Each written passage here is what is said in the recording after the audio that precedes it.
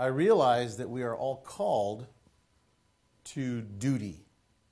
And we can either choose to hear the calling and rise to the occasion and do it without allowing all of the doubts and all of the noise in our head to interfere with that.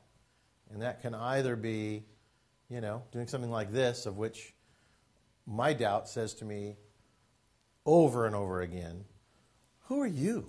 Why, why are you? Why do you think you have the right to sit up there?